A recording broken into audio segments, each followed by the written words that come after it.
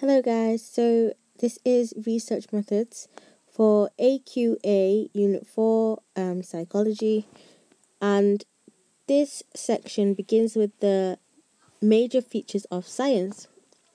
So, one of the key main features of science is replicability.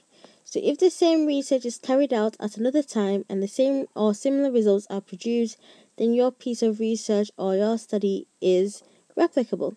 So, to obtain replicability, researchers must record their methodology carefully, such as to operationalize the IV and DV. Unrepeatable results implies there are many flaws and there is a lack of control within the method used.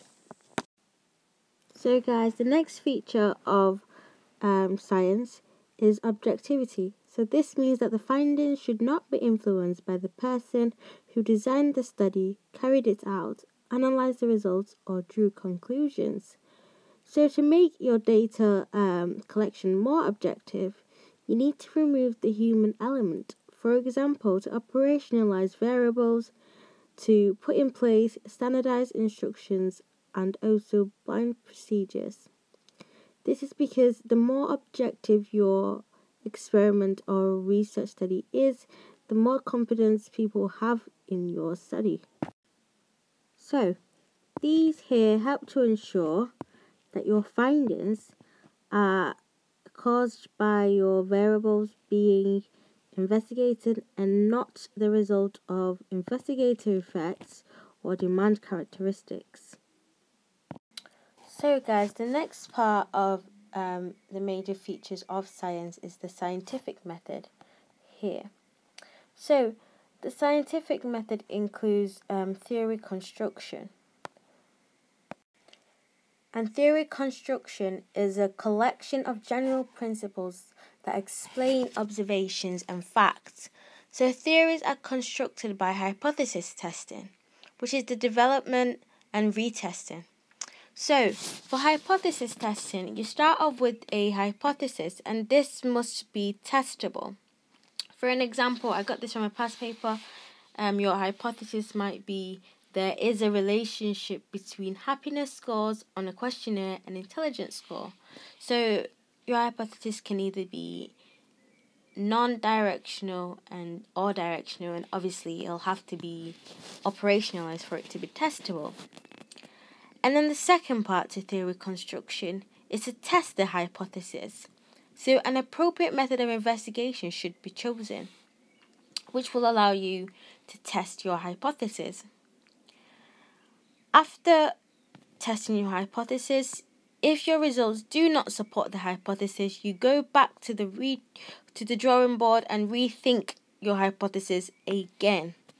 This is so that you can develop on your hypothesis so that you can do the theory testing again.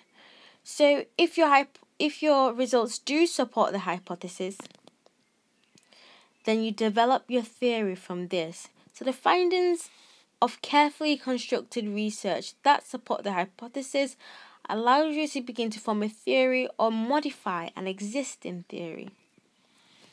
So, in the majority of cases, a theory does not depend on one piece of result. It is the end result of a range of work, usually from a member, from a number of different researchers.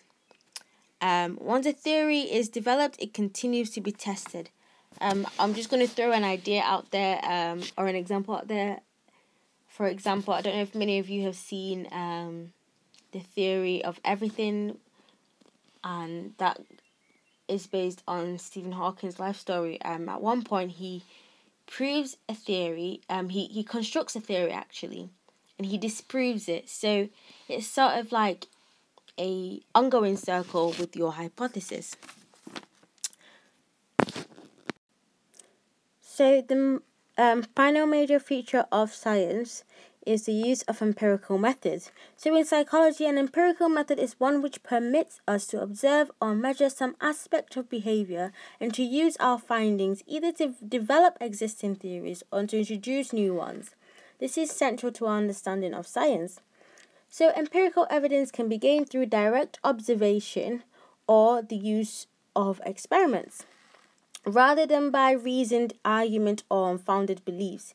This is because unfounded beliefs are not um, based on facts. So empirical methods in psychology allows us to develop hypotheses which we can go out and test. And this allows us to engage in deductive reasoning. So, by using empirical methods in, psy- in psychology, we can develop our theories in a logical sense. And it follows from this that psychology is only a science as long as its theories are actually testable using the scientific method. So, this is why the issue of whether psychology is a science is still a debate because many psychological theories cannot be tested empirically. For example, Freud. So, just to summarize a few of the main um, major features of science which I have talked about um, in this video, you have here replicability, and then you have objectivity, the use of empirical methods, and theory construction. So it'd be helpful to remember these when answering questions regarding the scientific method.